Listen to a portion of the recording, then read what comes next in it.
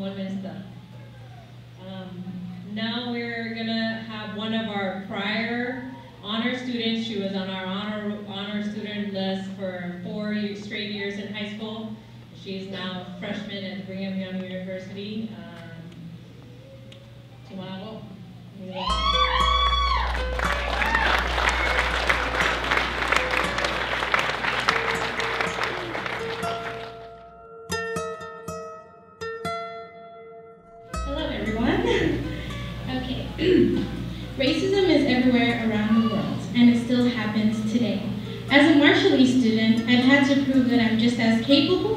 Just as smart as those around me, just as long as I worked hard.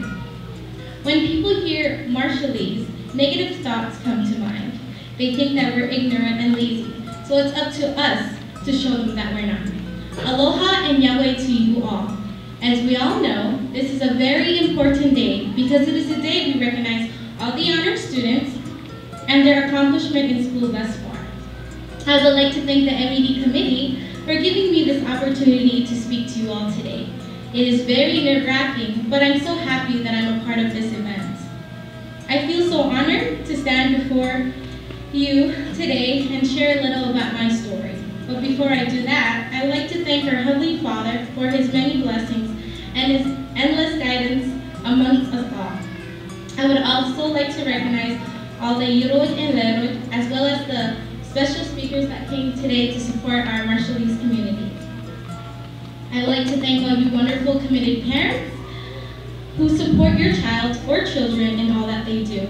I know that I am blessed with two amazing people that I call my mom and dad, Mr. and Mrs. Anatol, who has been there for me throughout my ups and downs. She's the lady that's cheering over there.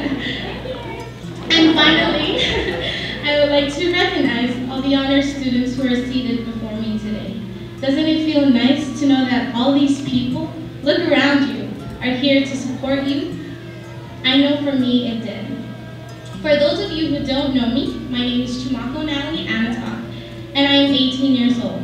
A little bit about myself, I was born in the Madrid Marshall Islands, and then at the age of three, my father and I came here to Oahu for medical reasons. After getting treated, my parents decided that it was best for the rest of our family to move here. I attended both Waipahu Elementary and intermediate school. After that, I attended Waipahu High School and graduated as a summa cum laude senior project completer, early college and college acceptance, class of 2015 Resilient Soldiers.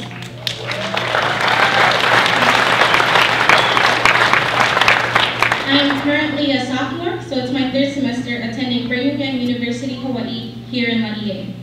I am majoring in math education, wanting to be licensed in both general education and special education.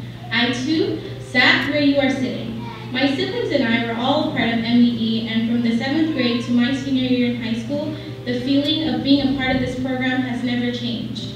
It was definitely worth it. Today, I was given a free range of what I could speak about, and so I'm going to share with you my views on support from a parent or guardian, self-motivation, and how I got to where I am today. Okay, so first, I'm going to share about support from parents and guardians. To the parents and guardians, thank you. If it wasn't for you and your guidance, who knows where these kids would have ended up. There is a whole community of Marshallese kids who don't value their education, and it's because they don't have a firm foundation at home. As a parent or guardian, you are your child's best advocate and therapist. You are there to push them and to support them every step of the way. You are there to guide them and to help them make the best decision possible. I remember one night I called my mom telling her I was a failure because I didn't pass my test. I cried because I knew it would have but she simply replied that it was okay. It is okay to fall here and there because I can learn from my mistakes and become better. She reminded me that I did my best and I should stand strong for the next time a test comes around. She gave me hope and encouraged me. She reminded me that whenever I fall, she, along with my father, will always be there to pick me up, dust me off, and motivate me to keep going. Parents are the reason why their kids are where they are today. I learned in my education class that a child usually does better with support. If they are alone, they feel that they don't need to do anything because there's no one there to help them or to support them. A teacher can do only so much because the ratio from student from teacher to student is 1 to 30. So it is important that parents are involved in a child's education. Connecting home and school together is a key to a child's success, along with the positive involvement of their parents and guardians. I can personally say that my parents have molded me to the person that I am today. I am where I am because of them. So Mama and Baba.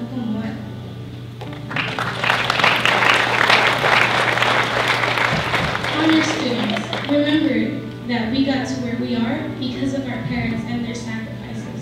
They provide everything and anything we need because they love us. So when you see your parents after this little program, you give them a hug and you thank them, okay?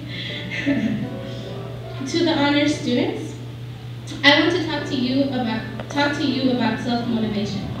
Yes, the support of your parents and family is one factor, but at the end, you have to want to succeed. You have to do your part also. One thing that helped me push myself was positive feedbacks I got every time I did well. Hearing Jaraman, congrats, or you did it, gave me this unexplainable great feeling that I always wanted to work towards. It's something that I always push myself for so that I can always reach. The idea of disappointing my parents is a nightmare, so I made sure that I did everything I could to succeed. My parents have sacrificed so much and given up their wants and needs to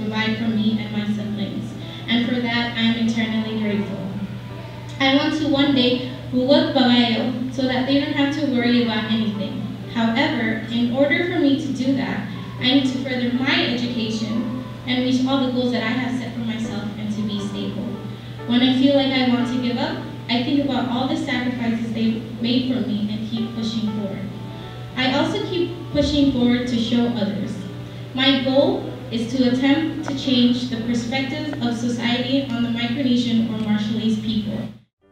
Being in that school and also being a part of this project gave me realize I have to stand for who I am and um, I have to show that I can, like, I can be, my goal is to, I'm sorry, I'm like stirred, but um, my goal is to one day change the perspective of society or attempt to change the perspective of society on Micronesian people and doing that, that's getting, furthering my education and um, breaking that um, uh, goggle that they have that Micronesian people can't do what other people can do.